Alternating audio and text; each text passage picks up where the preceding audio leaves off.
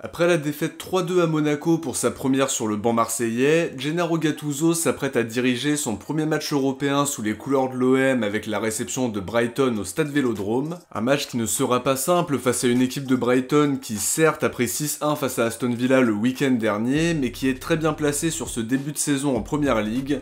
Un match important entre deux équipes qui vont devoir aller chercher des points. Brighton est pour le moment dernier du groupe après leur défaite face à l'AEK, alors que l'OM a fait match nul aux Pays-Bas face à l'Ajax. C'est en tout cas une affiche très excitante pour cette deuxième journée du groupe B, et dans l'avant-match, on va réfléchir à la compo que pourrait aligner Gattuso. Avant de faire le point sur la dynamique des deux équipes, on évoquera comme d'habitude les joueurs à suivre et mes pronostics pour ce match déjà important. De votre côté, quel est votre pronostic pour OM Brighton? N'hésitez pas à me le donner en commentaire pour être mis à l'honneur à la fin du prochain avant-match si vous trouvez le score exact. Et dites-moi aussi si vous êtes inquiet ou si à l'inverse vous êtes confiant après la lourde défaite de Brighton le week-end dernier face à Aston Villa. On commence directement par un focus sur la compo que pourrait aligner Gattuso pour son deuxième match à la tête de l'équipe. Face à Monaco, on a vu des individualités qui nous ont plombé et pour certains joueurs, faut avouer que ça fait déjà plusieurs matchs de méforme. À voir si Gattuso décidera de faire des choix très tranchés ou de laisser de la continuité aux joueurs qui ne sont pas hyper performants en ce moment pour éviter de les perdre définitivement. En tout cas dans ma compo, je mettrai Ruben Blanco qui mérite d'avoir du temps de jeu étant donné que Paolo Lopez est dans une période compliquée en termes de performance et qu'il déçoit de plus en plus. En défense, je pense qu'on reverra Klaus et Renan Lodi s'il est disponible, et pour la charnière, c'est là qu'il y a une question importante. Personnellement, je maintiendrai Samuel Gigot qui est plutôt bon sur ce début de saison, et je l'associerai à Leonardo Balerdi qui n'a certes pas un très bon crédit auprès des supporters en général, mais qui mérite d'avoir sa chance à nouveau étant donné que Chancel Bemba enchaîne les performances catastrophiques. Bamomeite pourrait lui aussi avoir sa carte à jouer, mais l'équipe expliquait que la direction et le staff voulaient prendre le temps avec lui pour qu'il s'adapte tranquillement. Je le vois plutôt débuter face au Havre plutôt que face à Brighton. Au milieu, on n'a pas encore l'information sur l'éventuel retour de Kondogbia, mais s'il est opérationnel, je verrai un trio Kondogbia en sentinelle avec devant lui Unai et Verretou. Évidemment, si Kondogbia est forfait, ce sera Rongier en 6. Offensivement, j'avais pensé à un trio Ndiaye, et Vitinha, mais je pense que ce sera Aubameyang pour ce match de Coupe d'Europe. Il a déjà marqué 4 buts cette saison et c'est en championnat que c'est beaucoup plus compliqué. J'imagine que ce sera beaucoup mieux en Coupe d'Europe et on l'attend au tournant. Par rapport à Vitinha, justement, je pense qu'il sera titulaire face au Havre et c'est un match très important aussi pour qu'il puisse prendre de la confiance. Concernant Ismail Assar, il y a une petite incertitude parce qu'il revient tout juste de blessure. Il est entré en jeu face à Monaco. S'il n'est pas prêt à débuter, je verrai Aminarid sur le côté droit comme face à l'Ajax. En tout cas, Joaquin Correa ne fait pas partie de mes choix pour débuter. On connaît ses qualités, mais pour le moment, c'est pas ça. Que ce soit dans l'aspect technique et bien sûr dans l'investissement qui laisse clairement à désirer. À lui de montrer qu'il mérite sa place en entrant en cours de match, parce que pour l'instant, rien ne justifie qu'on lui serve une place de titulaire sur un plateau d'argent. On enchaîne avec l'analyse de la dynamique des deux équipes, en commençant par l'OM qui sort d'un match face à Monaco qui est très riche en enseignements. Comme face à l'Ajax, on a vu de bonnes choses offensivement, de belles séquences comme sur les deux buts, même si la défense monégasque qui était quand même en grande difficulté. On a vu de bonnes intentions en globalité, mais on a senti des difficultés sur le plan physique qui étaient particulièrement criantes sur les 20 dernières minutes, et ça nous a empêché de pousser comme on aurait dû. Défensivement, on était en très grande difficulté, on a eu tendance à laisser pas mal d'espace, à montrer de la passivité, et les erreurs individuelles nous ont carrément tués. Comme on le disait dans la dernière vidéo, le chantier principal c'est de retrouver un certain équilibre dans le jeu entre un secteur offensif prometteur et un secteur défensif qui à l'inverse pose vraiment problème.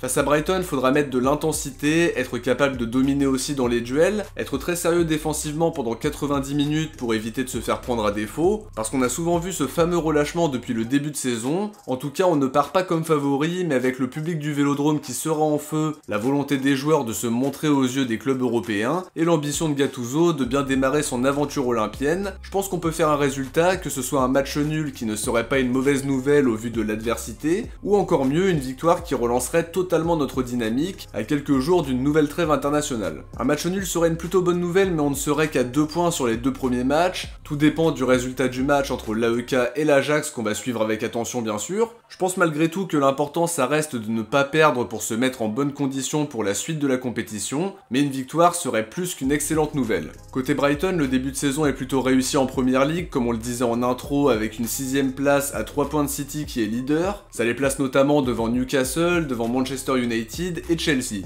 Sur le plan comptable, c'est très positif pour eux, seulement la dynamique a été un petit peu enrayée avec la défaite face à Chelsea en Carabao Cup, et surtout par la très lourde défaite face à Aston Villa. On les a sentis totalement désorganisés défensivement, avec des maladresses individuelles aussi, mais c'est aussi face à une belle équipe d'Aston Villa qui fait un très bon début de saison. Je pense qu'on peut pas se fier à ce mauvais résultat pour se dire qu'ils sont en difficulté et qu'on part presque favoris. Au contraire, je pense qu'ils seront surmotivés après leur défaite face à l'AEK Athènes en ouverture. Ils ne voudront pas enchaîner une troisième défaite consécutive et c'est une équipe que je crains particulièrement parce que De Zerbi bosse très bien. Son équipe montre de très bonnes choses malgré les départs très importants de Caicedo et de McAllister. Ils ont de très bonnes individualités avec Mitoma qui fait toujours très mal sur son côté gauche mais on en reparlera. Estupinian en défense, on pense aussi à Evan Ferguson qui s'était blessé mais qui était bien titulaire face à Aston Villa. Il y a aussi les arrivées de Joao Pedro et Dansu Fati qui amènent de la qualité. C'est une belle équipe qui maîtrise bien le 4-2-3-1 de Roberto De Zerbi et qui peut nous faire vraiment très mal offensivement. Ils ont d'ailleurs marqué 19 buts en championnat sur leurs 7 premiers matchs. Ils en ont encaissé 14 mais le match face à Aston Villa fait largement grimper le total. En tout cas, il faudra être très solide derrière parce qu'ils ont des arguments offensifs très sérieux. Sur les joueurs à suivre de part et d'autre maintenant, côté marseillais, je vais citer Jonathan Klaus qui est l'un des joueurs les plus réguliers de ce début de saison, dans un rôle d'arrière droit où il n'avait pas forcément brillé avant ça, étant donné qu'il jouait piston à Lens et qu'il a été recruté pour ça la saison dernière pour correspondre à ce que voulait Tudor. Je trouve qu'il donne satisfaction dans la défense à 4 et il sera évidemment à suivre parce qu'il devra contenir les montées de Mitoma qui est un danger permanent sur son côté gauche. C'est l'un des duels à suivre dans ce match qui nous attend. Au milieu de terrain, j'espère que Verretou va rester dans la lignée de ce qu'il a proposé dans ce rôle de numéro 8. C'est un poste qui est beaucoup plus proche de ses qualités offensives qu'on a eu tendance à oublier depuis son arrivée, parce qu'il n'a pas vraiment pu exploiter tout ça depuis qu'il est là, parce qu'il était cantonné aux tâches défensives sous Tudor. Son match face à Monaco est très encourageant pour une première sous les ordres de Gattuso, et on aura besoin de son expérience pour un match de ce niveau. Offensivement, je vais citer Aubameyang qui sera très probablement titulaire. Dans ma dernière vidéo, j'expliquais qu'il méritait de faire un petit passage sur le banc par rapport à ses performances en Ligue 1 et aussi à son manque d'implication et de leadership malgré son statut de joueur le mieux payé de l'effectif et aussi par rapport à son standing en général. Cela dit, je vois pas forcément Gattuso se passer de lui pour un match comme celui-là, et je pense qu'il donnera sa chance à Vitinha face au Havre. On en parlait dans la compo, Aubameyang il est à 4 buts en 3 matchs de Coupe d'Europe si on compte le troisième tour préliminaire, il est capable de se mettre au niveau dans des matchs de cette importance, et évidemment on compte sur un joueur de son standing pour faire la différence dans des matchs comme ça. Du côté de Brighton, Pervis Estupinian sera évidemment à suivre, c'est un joueur que j'apprécie vraiment beaucoup et il faudra être attentif à ses montées, à sa bonne relation avec Mitoma, c'est aussi un très bon centreur qui arrive souvent à trouver ses attaquants dans la surface. Défensivement, c'est aussi très intéressant. Klose devrait être très attentif au côté gauche de Brighton, avec Estupinian et Mitoma qui peuvent faire très très mal. Offensivement, justement, Mitoma est à suivre. Un très bon joueur balle au pied, de grosses qualités techniques et d'élimination. Un joueur très agile qui sait se montrer décisif. 3 buts et 3 passes D en 7 matchs de première ligue. Il apporte le danger en permanence et c'est incontestablement l'une des grandes forces de cette équipe de Brighton.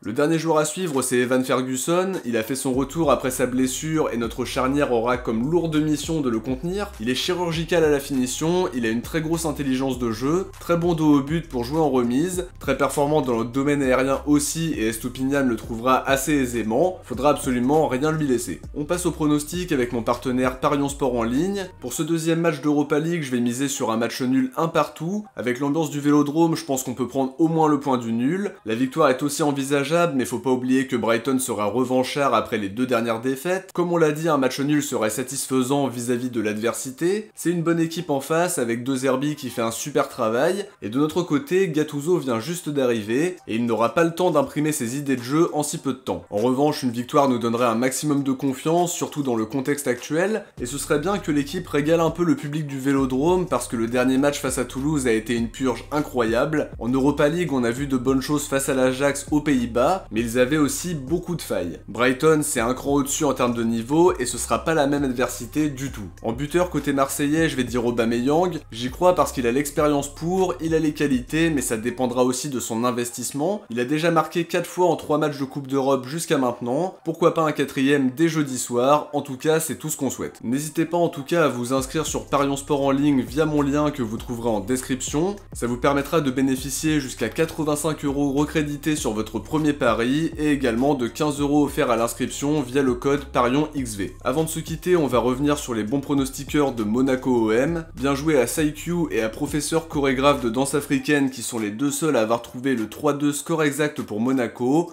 Encore un grand merci à tous d'être toujours aussi nombreux à jouer le jeu, et comme d'habitude, n'oubliez pas de me donner votre pronostic dans les commentaires pour OM Brighton. De notre côté, on arrive à la fin de cette analyse, j'espère que ça vous a plu, et comme d'habitude, si c'est le cas, n'oubliez pas de laisser un like pour soutenir la chaîne. Je vous invite aussi à vous abonner en activant la cloche pour ne rien louper de l'actualité de l'OM. Si vous avez regardé la vidéo jusqu'au bout, écrivez Europa dans les commentaires. De mon côté, je vous dis à très vite pour l'analyse du match, et n'oubliez pas que le match commencera jeudi à 18h45. D'ici là, je vous invite à regarder le débrief de Monaco OM et la dernière vidéo sur les différents chantiers de Gattuso. Vous les retrouverez en commentaire épinglé et sur l'écran de fin de vidéo dans quelques secondes. Ciao, portez-vous bien et surtout allez l'OM.